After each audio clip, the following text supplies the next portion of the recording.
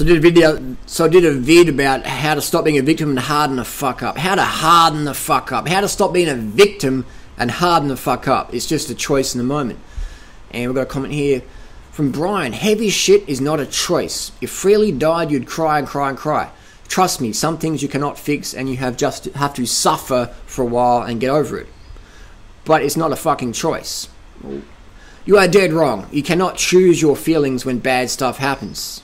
You can choose how you react after, but you always will be the victim for a bit as long as you get over it.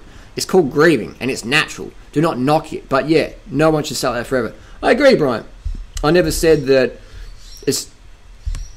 I guess I should be clear that 100% happy 100% of the time is bullshit because that's just not how life works. You know, things are going to happen and you're going to have some anger or some depression or some frustration or whatever. And that's fine, it's normal, it's healthy. But it's dwelling on that after the thing's gone, which is sort of inappropriate. It's a waste of time and energy. So let's say Freelee died, what would I do? I'd be I'd be very, very sad. Probably have a little bit of a party. But no, no, seriously, I'd be sad. It's unfortunate. But what am I going to do? I can't change the fact. What would Freddie want me to do? Would she want me to become an alcoholic or get back into drugs and shit? No fucking way. So if you care about someone, if you care about someone, you won't abuse yourself. That's being selfish and fucked up. That's using that as an excuse, having a little pity party, a little tea party. Poor me. This happened in my life, so I'm gonna I'm gonna ruin my life or whatever because someone died or something happened to me. That's just bullshit. So what we want to do is, oh, when my dad died, this is a good example. My dad died. I cried for a few minutes. I was really, you know, when my brother rang me up said dad died, I was like, fuck, man, that's pretty heavy.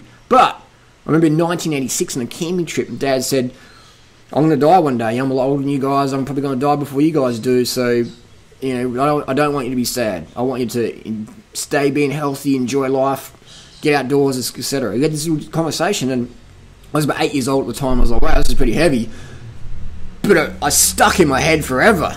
You know, I remember where we were in southwestern Australia on a camping trip, and I was like, wow, that's, that's powerful. So when my dad did die, I already had that seed planted from my dad himself saying, don't be sad, be happy, enjoy your fucking life. That was in February 2009.